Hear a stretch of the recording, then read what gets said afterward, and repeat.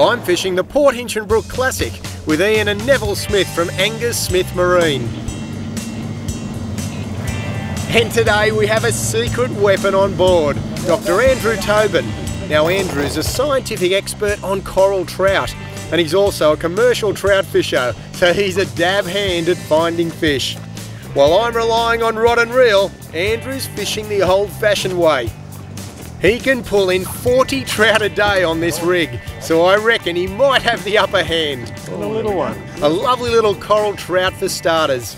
These common coral trout are apex predators on the reef, and they're a prime catch for commercial and recreational fishers.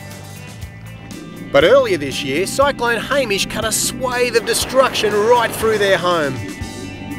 Big storm to start with, but it also came into the reef, neatly bisected the southern half of the reef. And, um, often cyclones cross east to west, but this one decided to track straight down through the guts of it. Since the cyclone, coral trout catches on the southern reef have dropped dramatically. So Andrew is heading a Fisheries Research and Development Corporation study to find out why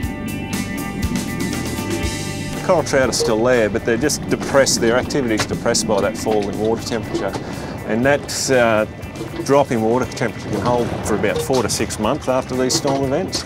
So the metabolism of those animals slows right down and they're just not interested in interacting with the fishery, not interested in eating a bait. Oh, you've caught beautiful red throat. exactly what we've been Very nice about. red eh? throat. You can see why they call them red throat. Everything's red, isn't it? While coral trout have gone quiet, Incredible, Andrew's study shows these red-throat emperor are thriving after the cyclone. Good eating fish, that one. Beautiful. They love it. They fire up. They come out of the deeper water. They'll spend more times on the edge of the reefs, and their abundance in catches will increase. Come on, trout. Do your thing. Here we go. A big patch of fusiliers. Where there's bait, there's bigger predators. Nice, Andrew. Right colour and all, eh? Beautiful. Meanwhile, Andrew's landing another red throat. So the red throat, after a cyclone, these guys come back in huge numbers up over the reef because yep. the cold water's pushed up. Yep. And these guys don't like the cold water. Yeah, they're still there, but they just go quiet, so okay. yeah, very hard to catch.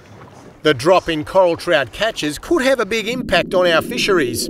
Already, commercial fishing boats have had to move further north to find more trout.